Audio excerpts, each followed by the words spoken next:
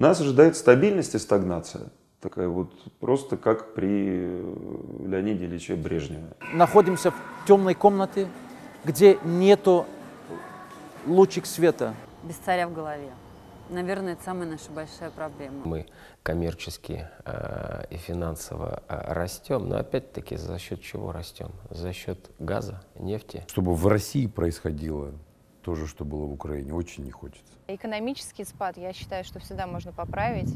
Те, кто ждут э, одного, кто-то ждет другого, работать надо. Потому что человек, который не верит в свою страну, это человек, который не верит в себя. В нашей стране э, политические курсы и вообще то, как э, развивается государство, практически полностью зависит от воли одного человека, того человека, который стоит во главе. Людям все хуже и хуже. И при этом цены все выше и выше. Как это может быть?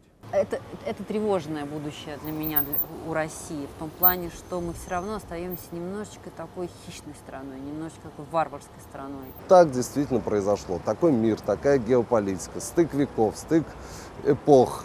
Вот что нам досталось. Но давайте будем вести себя здесь достойно. И, и как при Советском Союзе, от каждого по способностям, каждому по труду. Давайте э, любить свою родину и не давать ее в обиду.